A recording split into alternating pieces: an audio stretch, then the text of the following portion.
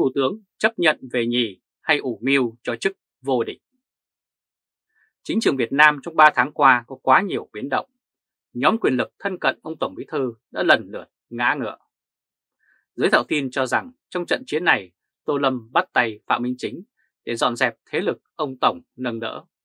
Tô Lâm sẽ là người về nhất, còn Phạm Minh Chính là người về nhì. Với việc an phận ở vị trí thủ tướng thêm một nhiệm kỳ nữa, vị trí Tổng Bí Thư sẽ nhường cho Tô Lâm. Rõ ràng Tô Lâm nhắm vào ghế Tổng Bí Thư, tuy nhiên nếu nói Phạm Minh Chính cam phận về nhì và an phận với vị trí Thủ tướng thì e chỉ mới thấy bề ngoài. Phạm Minh Chính là con người đầy tham vọng, liệu ông ta có cam phận làm nhân vật về nhì hay không? Ở Trung Quốc cũng có một nhân vật từng về nhì, đó là ông Lý Khắc Cường, cố Thủ tướng Trung Quốc từng nắm quyền hai nhiệm kỳ dưới thời ông Tập Cận Bình. Ông Lý và ông Tập là cặp đôi đồng sàng dị mộng. Lý Khắc Cường luôn tìm cách thoát ra khỏi cái bóng của Tập Cận Bình và ngược lại Tập Cận Bình cũng coi ông Lý là cái gai cần phải nhỏ.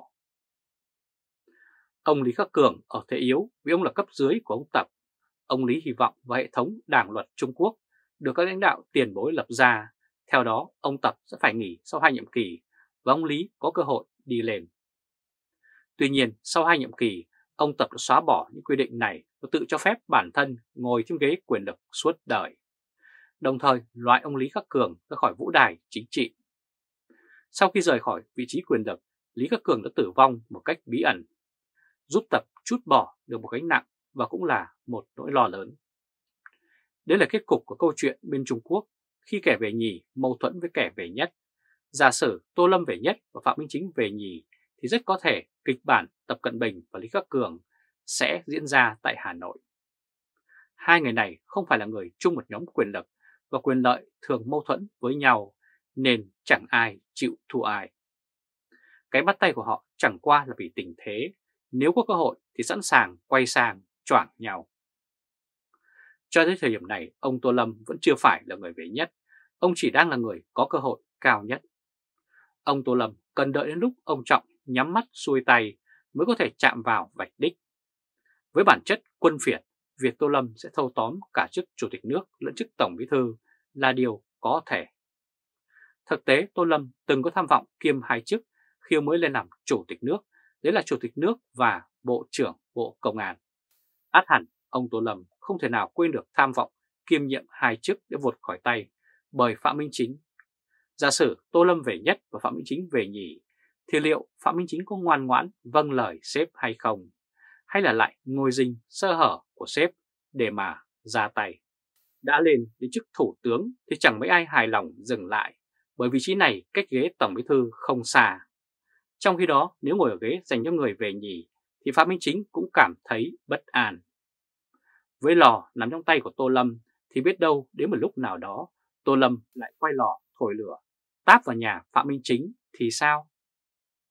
Còn nhớ vào hồi đại hội lần thứ 13 năm 2021, ông Phạm Minh Chính là nhân vật ít nổi bật trong giai đoạn chạy đua trước đại hội. Tuy nhiên, đến giai đoạn nước rút, Phạm Minh Chính đã bứt phá và đoạt ghế thủ tướng trước mũi của Vương Đình Huệ. Một kẻ âm thầm nhưng luôn có nước rút thần tốc thì ắt kẻ đó đã ủ mưu từ lâu trước khi ra tay. Tô Lâm có độ dũng mã và có có thể nào địch nổi. Nhưng Phạm Minh Chính cũng có lợi thế, đấy là giỏi ủ mưu và ra tay thì bất ngờ. Nếu Tô Lâm không cẩn thận, có khi lại trở thành nạn nhân của Phạm Minh Chính. Quý vị và các bạn vừa theo dõi chương trình truyền hình trực tiếp của Thời báo chấm với bản tin Thủ tướng chấp nhận về nhì hay ổ mưu cho chức vô địch. Quý vị và các bạn hãy chia sẻ video này cho nhiều người biết và bấm nút theo dõi YouTube và Facebook của Thời báo chấm để luôn được cập nhật những bản tin mới nhất, nhanh nhất và trung thực nhất. Từ Berlin, Cộng hòa Liên bang Đức chào các bạn và hẹn gặp lại các bạn ở bản tin lần tới. Trung Khoa Thời báo chấm đề Thủ đoạn của Tổng trọng và cái kết Tại Nga, Tổng thống Putin cho phá bỏ giới hạn hai nhiệm kỳ để dọn đường chúng ta ngồi ghế Tổng thống suốt đời. Tại Trung Quốc, Tập Cận Bình cũng cho xóa bỏ giới hạn nhiệm kỳ để ông ta thỏa mãn tham vọng quyền lực đến hết đời. Tại Việt Nam, Nguyễn Phú Trọng không xóa bỏ giới hạn hai nhiệm kỳ trong đảng luật, mà ông ta ma mãnh hơn, bịa đặt ra cái gọi là suất đặc biệt để ông ta hưởng lợi ngồi đến nhiệm kỳ thứ ba trên danh nghĩa. Tổng trọng không phá bỏ đảng luật, ông chỉ bổ sung vào đảng luật mà thôi. Hành động của ông Tổng Bí Thư cho gọi đúng là ma mãnh khi dọn đường cho bản thân nắm quyền chọn đời. Mỗi lãnh đạo độc tài có cách làm riêng. Tuy nhiên, công thức chung thì không khác mấy.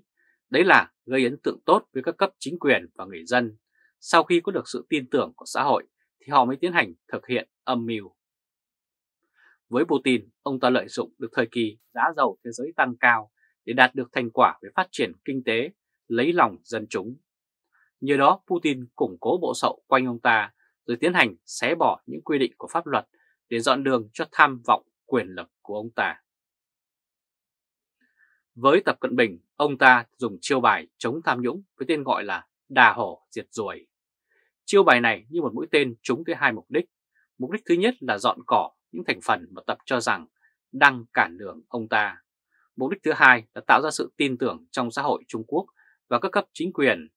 Sau thời gian thanh trừng gần hết các thế lực đối lập, Tập Cận Bình tự tay xóa bỏ những quy định của Đảng Cộng sản Trung Quốc có thể cản đường tham vọng quyền lực của ông ta.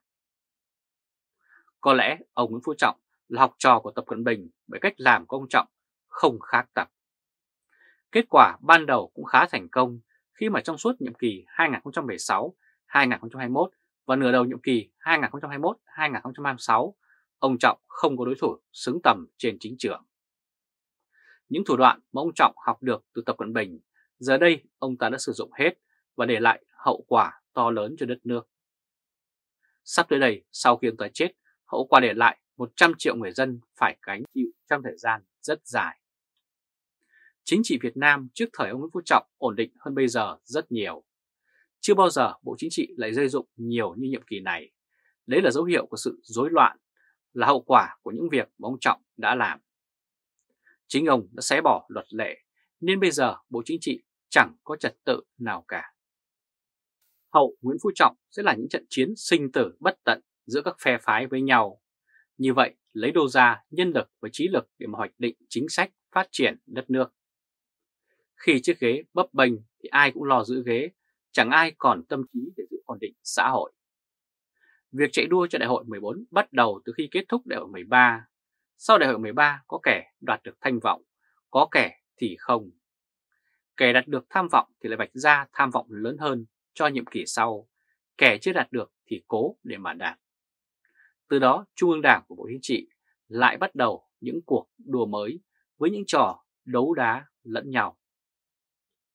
Ở tầng dưới thì chạy đua bằng cách hối lộ, chạy chức, chạy quyền để được cất nhắc. Ở tầng trên thì chiến đấu từng giây phút, từng vụ việc để tranh đoạt hình thức, tuyên truyền theo cơ cấu đã không còn hợp thời. Từ khi Tổng trọng thể hiện cho toàn đảng của ông ta thấy rằng có thể đạt được thành quả bằng cách đấu đá tranh giành, thì những người tiếp nối ông ta cũng theo lối mòn này mà đoạt lấy quyền lực. Chính vì thế, dự định cơ cấu cho Vương Đình Huệ nối ngôi của ông Tổng Bí thư Nguyễn Phú Trọng đã phá sản hoàn toàn. Hậu Nguyễn Phú Trọng, thượng tầng chính trị Việt Nam sẽ là một mớ hỗn độn. Quý vị và các bạn vừa theo dõi chương trình truyền hình trực tiếp của Thời báo chấm với bản tin thủ đoạn của Tổng Trọng và cái kết. Quý vị và các bạn hãy chia sẻ video này cho nhiều người biết và bấm nút theo dõi YouTube và Facebook của Thời báo chấm để để luôn được cập nhật những bản tin mới nhất, nhanh nhất và trung thực nhất. Từ Berlin, Cộng hòa Liên bang Đức chào các bạn và hẹn gặp lại các bạn ở bản tin lần tới. Trung Khoa Thời báo chấm